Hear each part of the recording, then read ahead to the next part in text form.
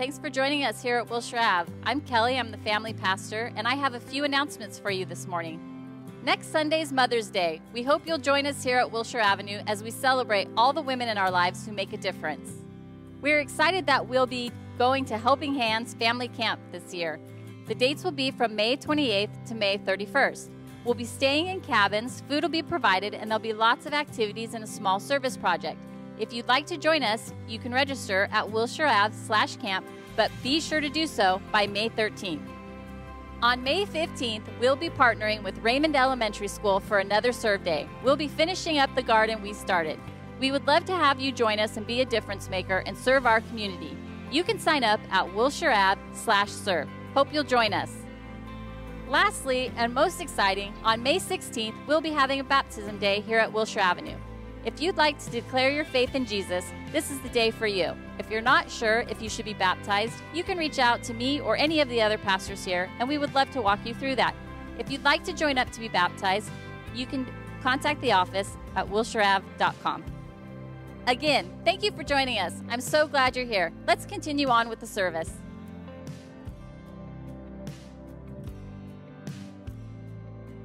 Hey, good morning, church. My name is Saquon. I'm the youth pastor here at Wilshire Ave, and I am so excited that you have joined us for church. We are going to worship, so from wherever you're watching, maybe this is a great time to silence your cell phones, maybe clear some space, stand on up, and let's worship our God together.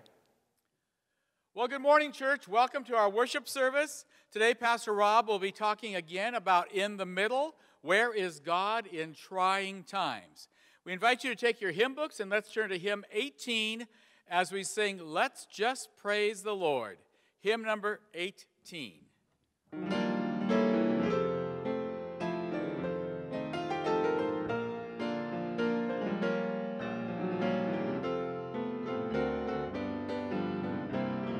Let's sing together.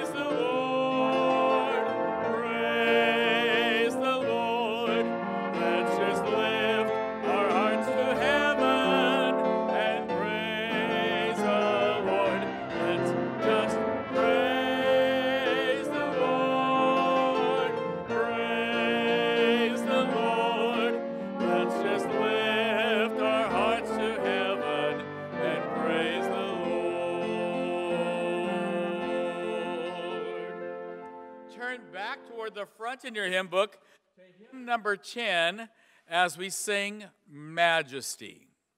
Hymn number 10.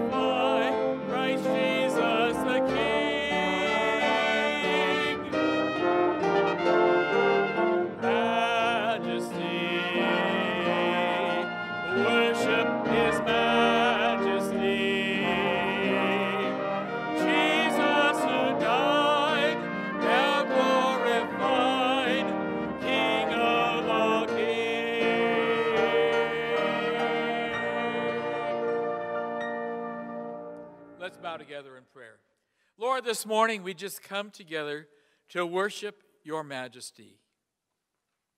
Jesus, you died, you were buried, you rose again so that we could have eternal life. So we exalt you, we lift up your name, and we thank you and praise you and worship you. In Jesus' name we pray. Amen. Well, take your hymnals once again and let's turn to hymn 310 as we sing all four verses of Lead Me to Calvary, hymn 310.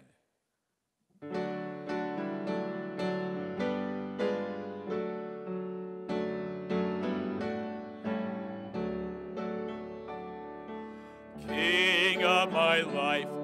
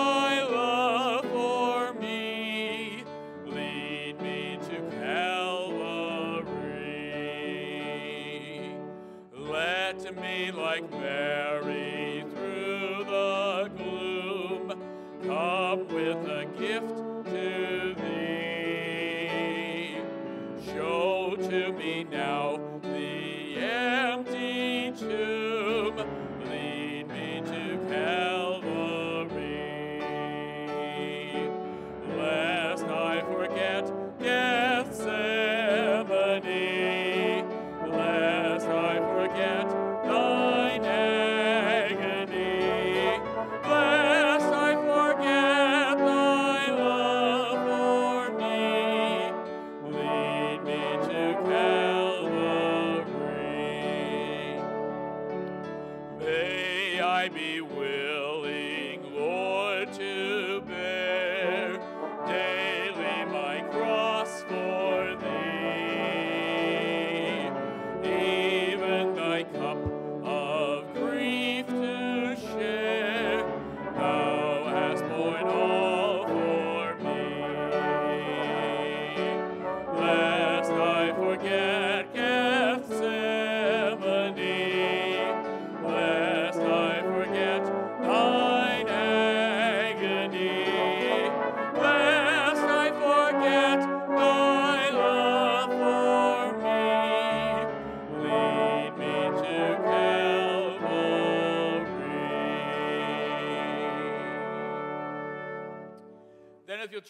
just two pages to 308, Melody Green wrote the lyrics of There is a Redeemer.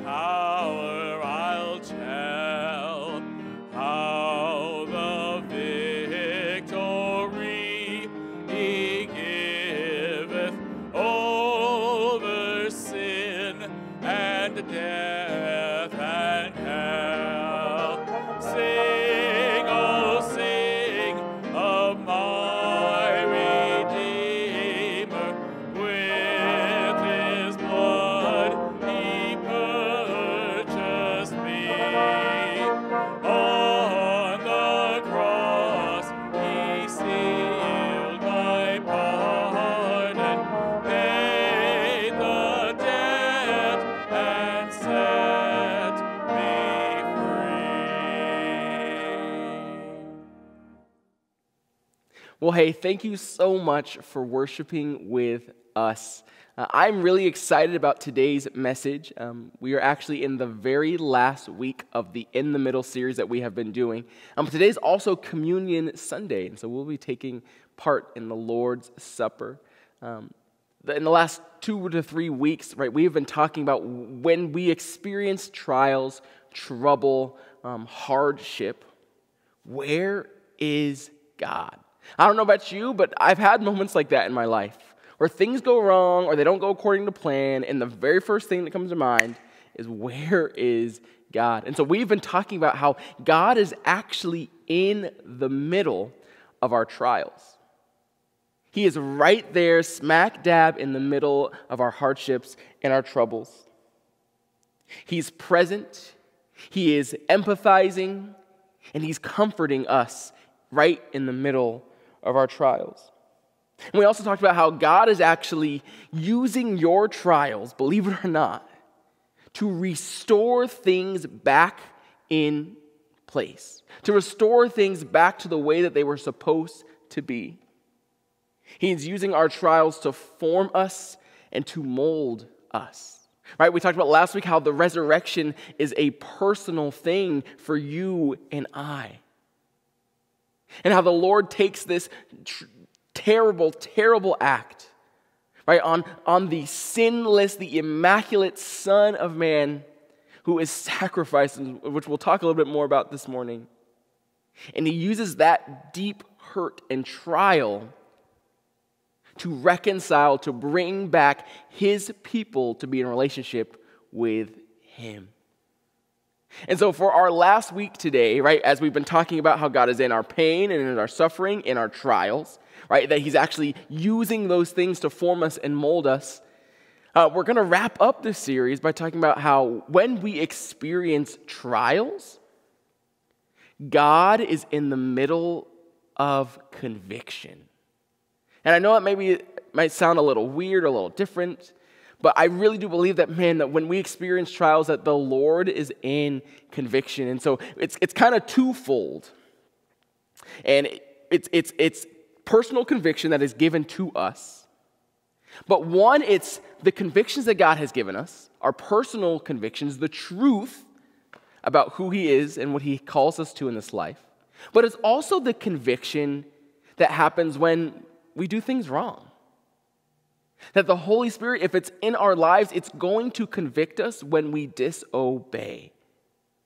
And so when we are experience trials, when we're in the middle of hardships, I really do believe that God is in the middle of conviction. He is calling and inviting us to stick to our convictions.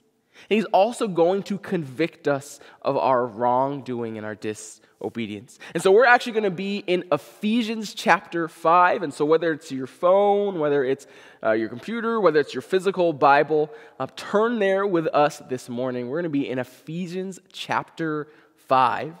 And I really feel like this verse is exactly what we need.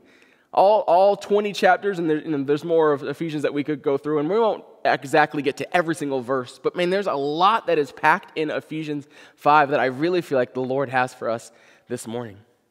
So turn with me to Ephesians 5, starting in verse number 1.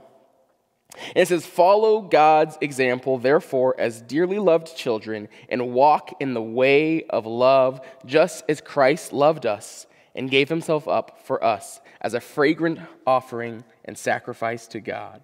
But among you, there must not be even a hint of sexual immorality or any kind of impurity or of greed, because these are improper for God's holy people.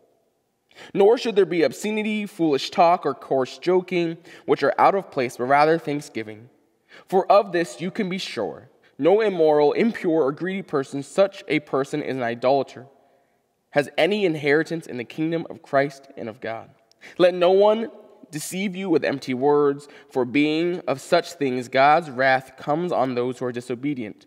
Therefore, do not be partners with them. For you were once darkness, but now you are light in the Lord. Live as children of light. For the fruit of the light consists in all goodness, righteousness, and truth. And find out what pleases the Lord.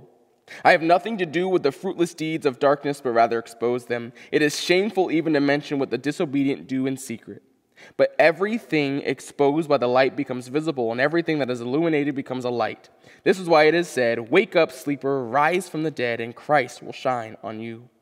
Be very careful then how you live, not as unwise, but as wise, making the most of every opportunity because the days are evil. Therefore, do not be foolish, but understand that the, what the Lord's will is. Do not get drunk on wine, which leads to debauchery. Instead, be filled with the Spirit. Speaking to one another with psalms, hymns, and songs from the Spirit. Sing and make music from your heart to the Lord, always giving thanks to God the Father for everything in the name of our Lord Jesus Christ. Will you pray with me for God's word this morning? Dear God, we are reading your words, God, your literal words to us in Ephesians 5. Would you speak to us this morning? Reveal your truth. Teach us something new about you, God.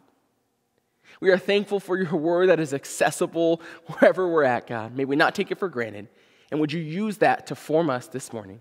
You know, I pray. Amen. And so, like I said, right, we are talking about conviction how there's this truth that God is going to say, hey, I know you're experiencing trials, I know things are hard, but I have given you personal conviction, and I want you to stick to those guns. I want you to stick to that conviction. But right, there's also this conviction that God is going to give us in terms of obedience. That there are things that you and I will do wrong that the Lord is going to convict us to, to repent of and to turn from our sin, to turn from those wrongdoings and turn back to Him. I remember when I was in like seventh or eighth grade, uh, I was in like pre algebra, algebra, and I remember I was taking a test. And I don't know about you, but pre algebra and algebra, it's kind of difficult. There's a lot of pieces, there's always like kind of steps you have to do. And so I remember that there was this thing that our teacher taught us, and it was PEMDAS.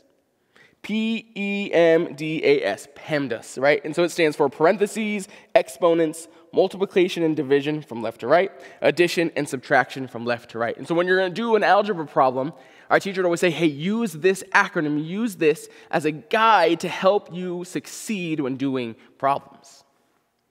And so I remember when, it, when the, like, the test came, and you, you know, it's classic, you're right, you stumble on a problem, and you're like, I really don't know what to do in this situation. But as I'm trying to figure out, like, oh my goodness, how am I going to solve this problem? in my mind, I hear my teacher, PEMDAS.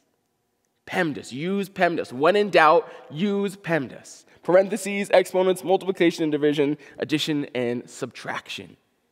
And in that moment, I felt like put at ease, like, oh, you know what? Okay, I can relax, I can settle down, use PEMDAS to help me with my math equations.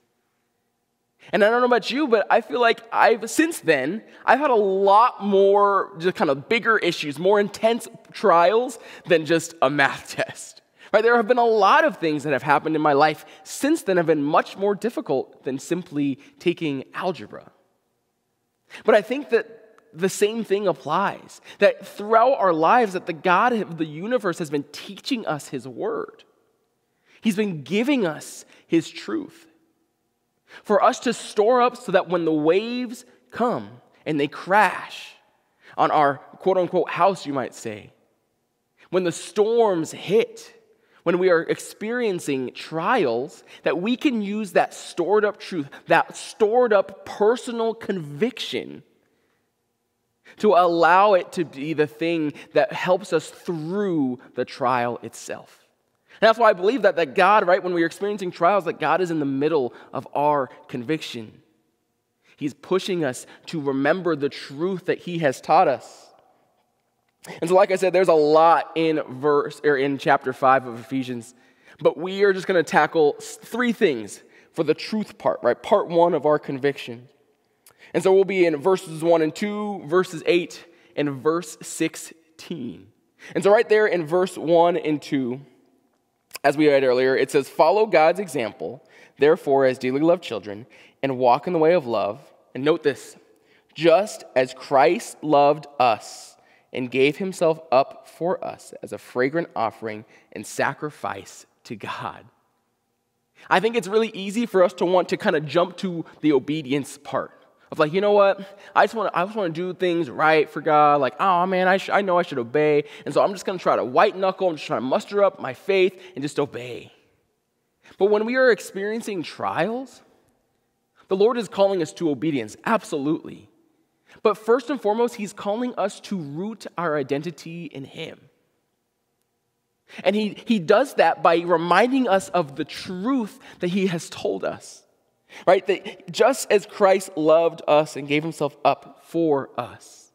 The truth is, is that when you are going through trials, when you are experiencing trouble, the truth is, is that you are loved by God. So much so that he sends Jesus as a sacrifice for you and I. Like, it doesn't really make sense for us to try to obey from our own accord, for our own will. It's out of the love that God has for us. All right? It's out of the sacrifice that was made for us. That when we are experiencing our trials, that the Lord wants to remind us of who we are because I know that, man, and we'll talk about it in a minute, that when we're going through trials, things kind of get cloudy. Our, our minds kind of get consumed a little bit. And oftentimes, our identity can fall to the wayside. And there's a lot of times where you and I, we put our identity in the wrong things. And when those things come up short, that we kind of feel empty and hopeless and lost. But sometimes we've been putting our identity in God. But there are trials that happen in life that simply just shake us to the core. And so if if you are experiencing trials right now, and if you not, right, we all know that you will. We all experience trials, we all experience trouble and hardship. That when we experience these trials, we need to remind ourselves that we have been loved by God and that He has made a great sacrifice on our behalf. This week, I had to write a 2,000 to 3,000 word paper on the atonement. Right? The atonement is simply, man, what did Jesus do on the cross? And so I got to write about these different theories of what happened on the cross, what was it effective for, and maybe you're like, what is the atonement? I don't know. It, but it, it simply is that, that, right, Jesus sacrificed on the cross. Right? God sends his son Jesus to be sacrificed on the cross. And there's a lot of different theories about what actually happened on the cross, but the thing that I think is so important for us to remember is that Jesus, who was sinless, who was immaculate, right, the spotless Son of God, who did not deserve death, died for the guilty, you and me. He died for our sin, for our wrongdoing. And He loved us all the way through it. And He continues to love us and He continues to remind us of the sacrifice that He made for us. So when you and I are experiencing these trials, we need to remember this love and sacrifice that the Lord has for us, this conviction, the truth that God has been telling us all the days of our life. Because when we do that, obedience will flow from our identity. When we can remember that we are loved by God and the sacrifice that was made on the cross for us, obedience will flow from our identity. Jumping down to verse 8, very simply put, it says, For once you were, for, for you were once darkness, but now you are light. What a great reminder that when we are going through our troubles, that we are not who we used to be. That we are no longer our sin, we are a new creation. The old has gone, the new has come. And so God is really saying, hey, don't resort, don't revert back to your old former self. Don't revert back to the old tendencies that you had when you would experience trials because you were once darkness. But he reminds us of our identity that we are now light. And when you're going through a really hard, difficult trial, maybe all you see around yourself is darkness.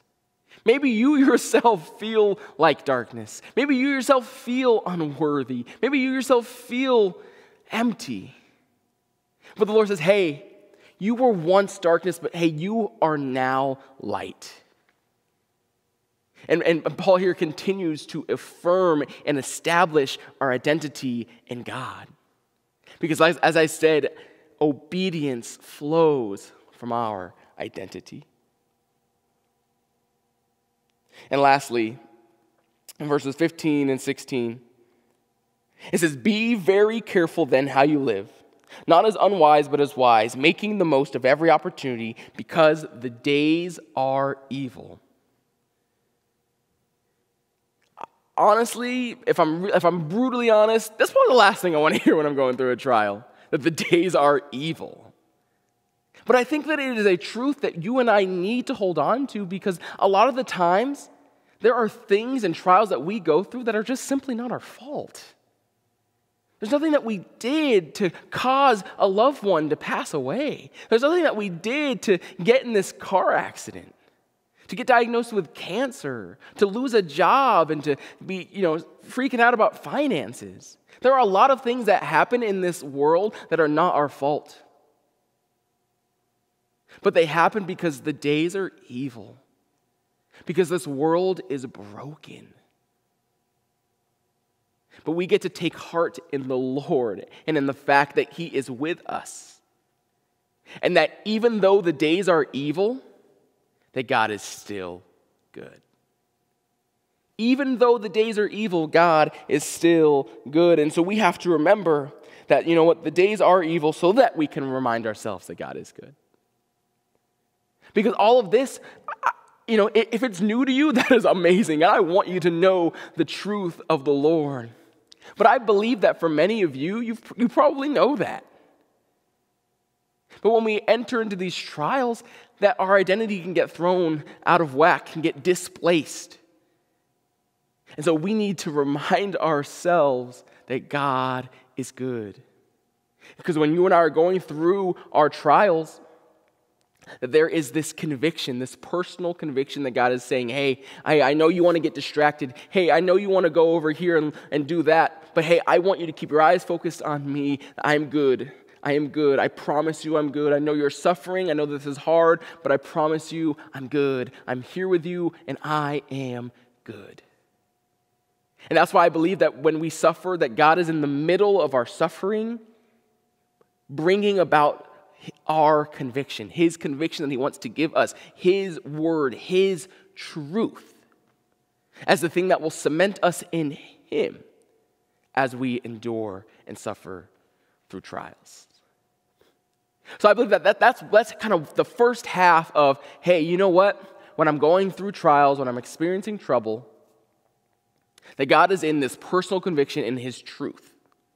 But the second part is that God is also in conviction, but He's in the conviction of obedience. Right? He's, he's, he's actually calling and inviting us to obey. I think it's really easy that when we're going through hard times, to kind of give ourselves a little more slack. And it doesn't mean that we can't have grace, it doesn't mean that we can't give ourselves slack. That's not what I'm saying. But I don't know about you, but I feel like I've heard those, these phrases a lot. Oh, they're just going through a hard time. That's why they're yelling and shouting and doing things they maybe shouldn't be doing. Yeah, you know, they're just really upset. Or, you know, it's, hey, forgive them, they're dealing with some stuff. And the Lord 100% calls you and I to forgive. Totally, absolutely, right? How many times should I forgive? 77 times 7, over and over and over. And we know that the Lord forgives us time and time again. But I always think of like Monopoly, right? And how like sometimes you roll, I think it's like three doubles in a row and you go to jail and you can either pay to get out, I think, or you can roll the dice, or if you get a chance card, you can get a get out of jail free card.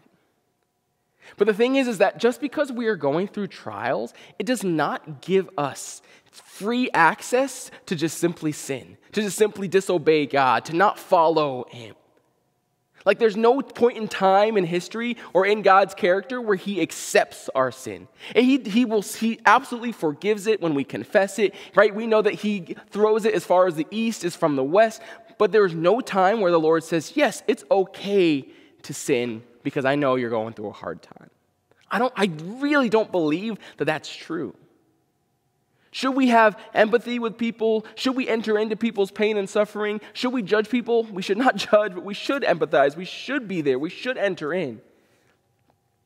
But when things are wrong, we need to make sure that we declare it. Like, hey, you know what? That's wrong. That is not the right thing to do. That God is actually calling you to something different. And I get it. When we are suffering, when we're going through trials, our judgment gets clouded. Our discernment isn't as great. And Satan is around the corner, ready to pounce when you are suffering. And God knows that, and He sees that. And so, what God does is that He comes to our side when we're suffering and we start to maybe drift or we start to walk away or we start to disobey, and He convicts us. He says, Hey, don't, man, you don't want none of that. I promise you, you don't need that in your life. I have better for you. I know you're suffering. I know you're struggling. I know this is a hard season, but I have better for you. Come back. Stick with me. Be by my side. I will carry you through your trial. I believe that those are God's words and truth to us in our conviction. He convicts us as He continues to reconcile and brings us back to Him. If you go to uh, verses 1 and 2, right, it says, Follow God's example, therefore, as dearly loved children, and walk in the way of love. So when we are experiencing trials, when we are suffering, when we are struggling, that the call remains the same to walk in the way of love. The call still remains to follow God's example. Just because we are having a hard time, a really hard time, maybe even the, the most difficult time ever, we're still called to walk in the way of love. We're still called to the same obedience that God calls us when we are doing great. That doesn't change. Is it easy? By no means is it easy. But it's still the call to walk in the way of love. It's still the call to follow in God's footsteps, to follow his example. And we can do that through God's conviction. And now that we've, we've rooted our identity in him, right, we know that our obedience will flow from our identity. And so it's so important to make sure that we have these both kind of hand in hand, but we root ourselves in God's love and the truth and the titles He gives us children of Him, right? Children of God, son of daughters of the King. Root ourselves in our identity so that our obedience will then flow from that. Because we know that when we are struggling, that we're gonna get tempted. We're going to want to go and do this or watch that or drink this or not do anything. Or maybe we're going to want to yell and shout. Maybe we're more irritable. But it doesn't say, hey, when you're suffering, you can just walk through, you know, you can just walk in the way of hate. No. It says follow God's example, no matter what. There's no caveat. Follow God's example, walk in the way of love. Jumping down to verse 11, this is so key. I'm telling you. If we are truly going to be people who walk in the way of love in our trials, which again is, can be a really hard thing to do, well, verse 11 says this it says, Have nothing to do with the fruitless deeds of darkness, but rather expose them. And so we know that trials often cloud our judgment, they often consume our thoughts. You know, I always think about when I, I crashed my car, maybe a month after getting my license. That the whole rest of the day, the whole rest of the month, my thoughts were just consumed with this accident that I had. My thoughts were consumed with, man, what am I going to do? How am I going to get another car? Do I even deserve to get another car? I'm just another statistic of like a bad, you know, high school 16 year old driver. Like I couldn't really focus on my homework or anything that I had to do. Trials, they often, more often than not, they consume our thoughts and they cloud our judgment. And so, if we are going to be people who have nothing to do with fruitless deeds of darkness, if we're going to be people who expose the darkness in our trials, that means that we're going to have to invite community in to our trials. That if, if we're actually going to be able to walk in the way of love, follow God's examples while we're suffering and struggling, then we're going to have to bring community in. We're going to have to let people in to our suffering. For many, many years, there's been a bad stigma of mental health in the church. That, man, if you are suffering or struggling with mental health, your best bet is just to keep it under wraps, show up to church, just make sure that know, everything looks good, you're, you're in your Sunday's best. But I really believe that, man, God is, God is removing that from our church. Not just here at Wilshire, but the church wide. And saying, you know, there are people who are suffering and struggling every single Sunday in your congregation with different mental health incapacities. And rather than turning them away, rather than shunning or shaming them, that, God is actually saying, hey, we need to enter into people's life with them. Enter and do community with people who are suffering so that we can help them to follow in the Lord. So we can help them, so we can hear them, so we can see them, so that they can know that they have a place in God's kingdom. That they will no longer suffer from the shame doesn't mean that their mental health will just immediately go away. But when we can bring community into the picture, man, we can strike down shame and darkness. And so if you're going through a trial, the best thing that you can do is to invite somebody in. The worst thing that you can do is to keep your trial, keep your suffering, keep your struggling in the dark because Satan loves when we keep those things in the dark. But, the, but, the, right, but God's word says that we need to expose the darkness. And we really, honestly, we can't do that on our own very well when we're doing great. But when we're suffering and struggling, we really can't do it well. We really don't have the capacity or the ability to expose the darkness. But I believe that when we invite people into our community, when we invite people into our circle and say, you know what, I am done hiding. I'm coming out of the darkness and into the light. Here's what's going on in my life, and I'm suffering and struggling. That people will rally around you. I know it's scary to be honest and open and vulnerable. And honestly, maybe you have a great case to make for like Saquon. I've tried that before and it hasn't worked. But I don't believe that it was you being vulnerable that didn't work. I think maybe it just wasn't the right people. And I think that maybe God is actually inviting and calling you to give yourself another shot, to continue to be honest and open and vulnerable with people, that they may help walk you through your trials. They will be able to hear you, see you, give you physical needs if that's what it takes, and to help and remind you of your identity so that our obedience will flow from it. God is inviting and convicting us of our wrongdoings and is calling us to suffer and to struggle and to be vulnerable and open in community. And that's my hope for you that you would know that, you would own that. The last thing that I do want to share is in verse 18. And it says, Do not get drunk on wine, which leads to debauchery. Instead, be filled with the Spirit. Verse 19, speaking to one another with psalms, hymns, and songs from the Spirit Sing and make music from your heart to the Lord, always giving thanks to God the Father for everything, in the name of the Lord Jesus Christ. We are being invited to worship God throughout our trials. That when everything goes sideways, right, that we would take what verse 19 says to heart, speaking to one another with psalms, hymns, and songs from the Spirit, sing and make music from your heart to the Lord, always giving thanks to God the Father for everything. When you and I are suffering or struggling, going through these trials, God is in the middle of them and is inviting you to worship Him, inviting you to sing songs of praises to Him. Whether that's with anger in your heart, whether that's with tears coming down your face because of what you're going through, that you and I are invited to worship.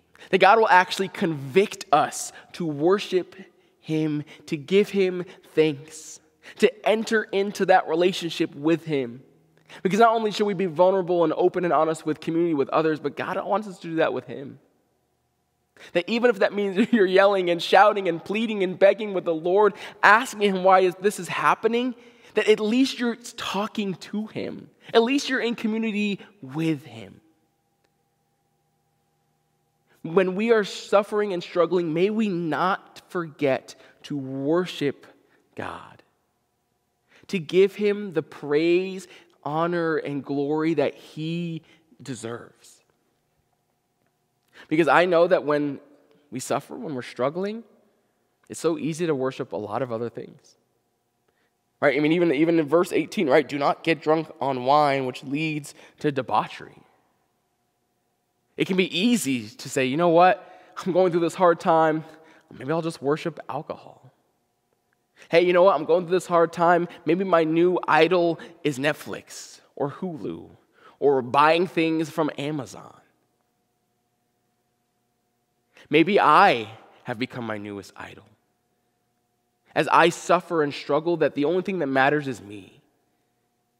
Maybe self preservation is the new idol, that I make sure I take care of everything that I need first before I can help others. Those temptations are so easy to fall into, but God says, forget all that. Worship me. Sing songs and praises to me. Give thanks to me. I am here with you, and I am for you. And so, if God is for us, then who could possibly be against us? When God, God is all in for us, that God is actually inviting and calling you and I to be all in for Him.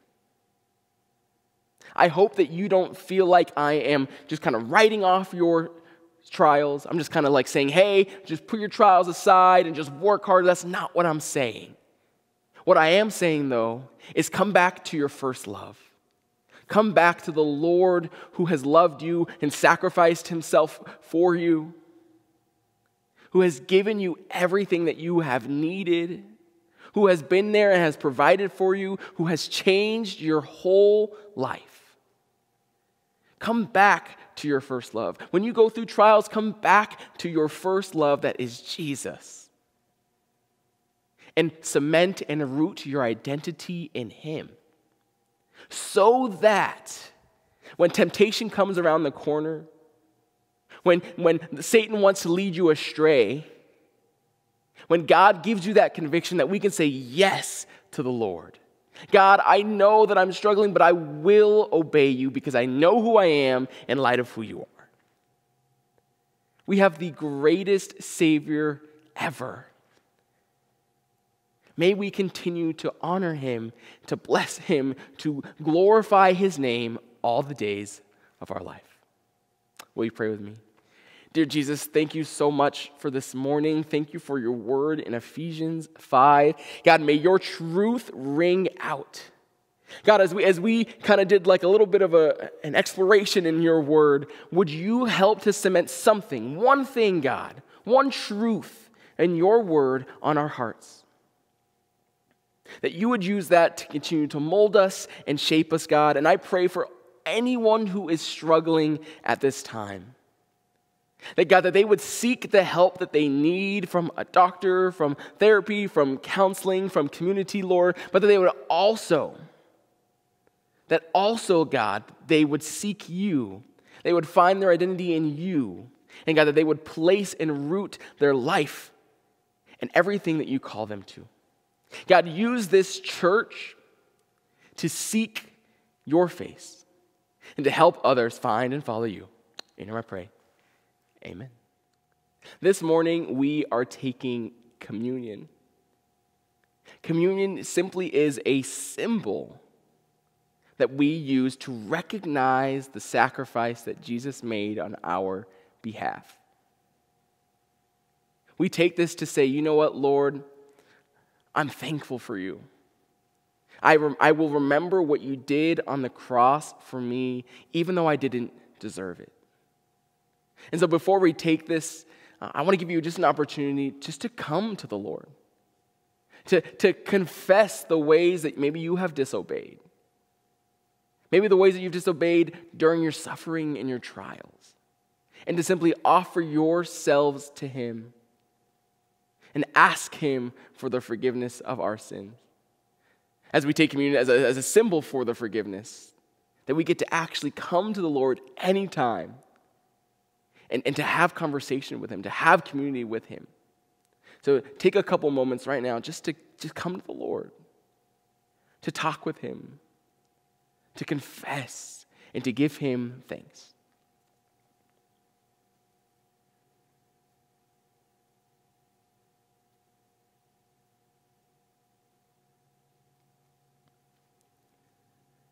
This right here represents the body that was broken for us. And communion is, is for all of God's people, anyone who follows Jesus. And so if you're not in a place where you're like, ah, you have a relationship with God, that's okay. You don't have to worry about this communion that we're going to take. But I mean, if you are a follower of Jesus, this, this, this is a symbol of the body that was broken for us on the cross. The, the suffering that our Jesus endured so that we could have life. Would you take this with me?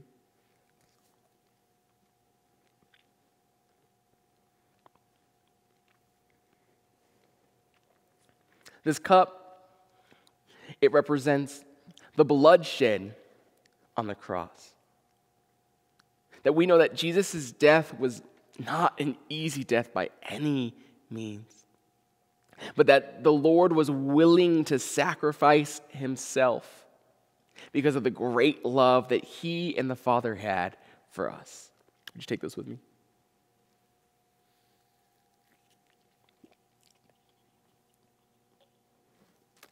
Join me as we pray. God, thank you for your sacrifice. Lord, we know that we are in a world of trouble without you and your love. so, God, would we remember what you did on the cross for us? That, Lord, that you were innocent and we were the ones that were guilty, yet you took our place. You died for us, giving us one more opportunity to have relationship with you. And so, God, I, I pray for all of us this morning that we would draw near to the Father and know that He is good. You know, I pray. Amen. We are going to continue to sing in just a moment, but one of the ways that we get to worship our Lord um, is through our offering.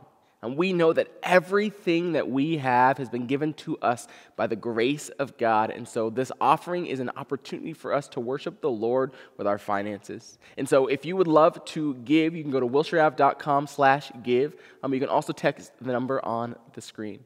Join me in a prayer for our offering. Dear Lord, thank you for this space. Thank you for the opportunity for your word to go further than what we could do on our own. God, we pray for the ministries of this church, Lord, um, that you would bless it, Lord. We, we pray for the hearts of us, myself, our people, God, whoever watches this, um, and Lord, that we would know and trust in you.